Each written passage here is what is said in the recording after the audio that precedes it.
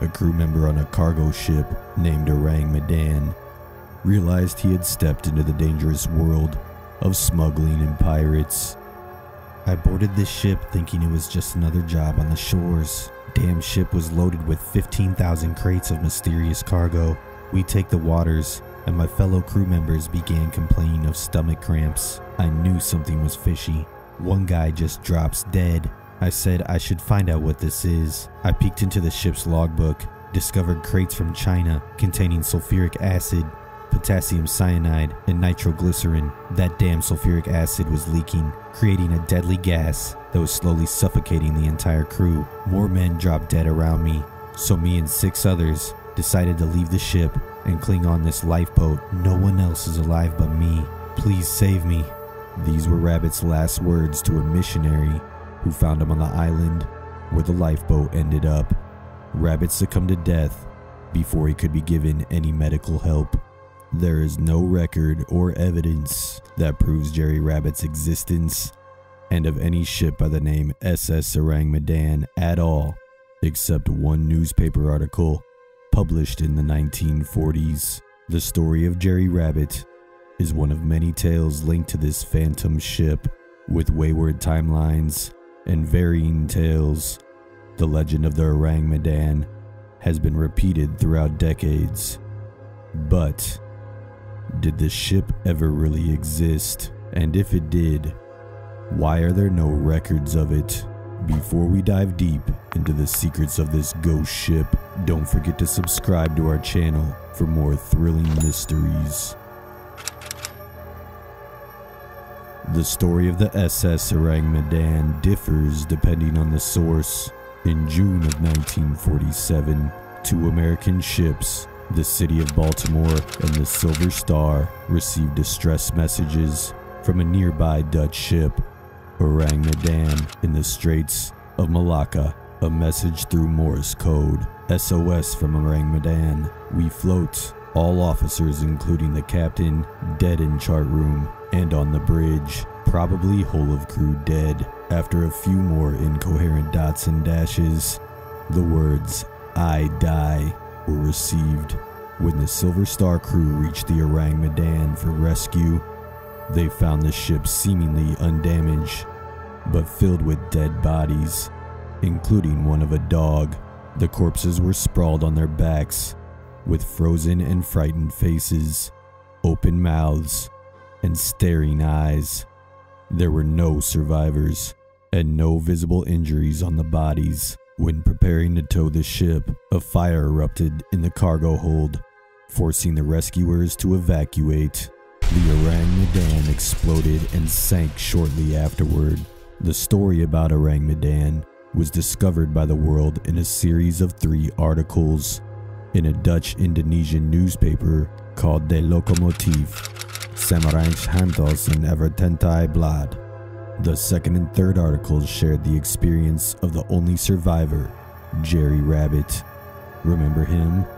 Rabbit was found by an Italian missionary on Taongi Atoll in the Marshall Islands who confirmed Rabbit's claim and further added that according to Jerry, the ship was sailing from a small Chinese port to Costa Rica, deliberately avoiding authorities.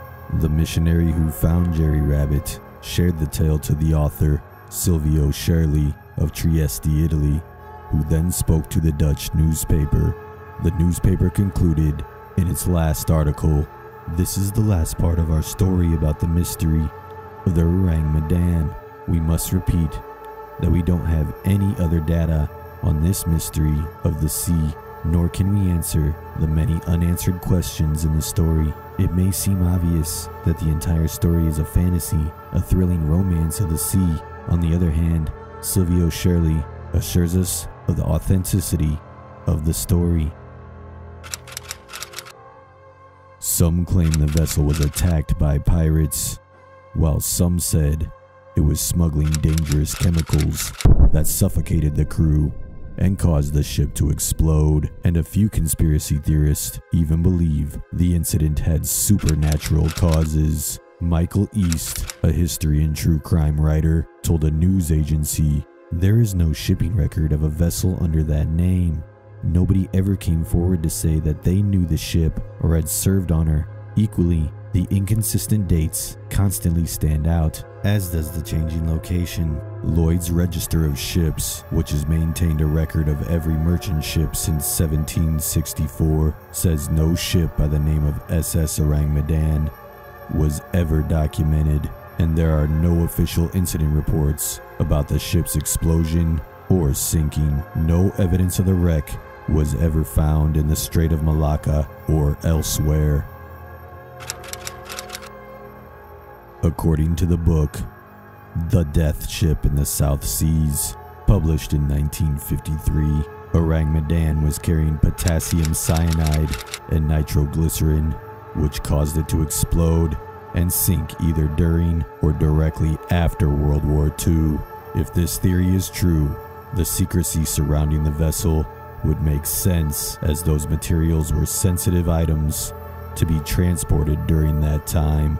Another theory suggests the ship was carrying nerve gas that the Japanese military stored in China during the war. At the war's end, it was handed over to the US military. Since no US ship could carry it openly, it might have been loaded onto the unregistered ship like the Ourang Medan for transport to the US or an island in the Pacific.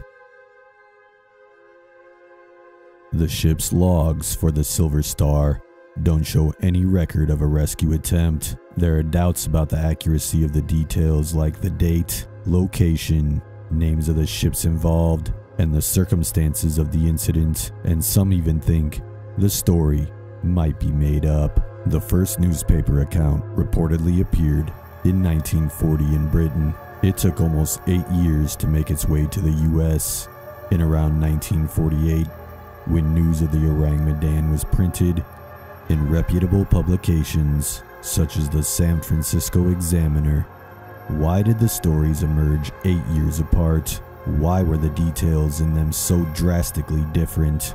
The fact that so many versions of the story of the Ourang Medan have appeared over the years points to the tale being more fictional than truthful. As the legend of the ghost ship Ourang Medan still haunts mariners today, all tales around it remain unexplained. Click the like button if you think the Ourang Medan was real. If you know any theories about this, share in the comment section and don't forget to subscribe to our channel for more such compelling mysteries.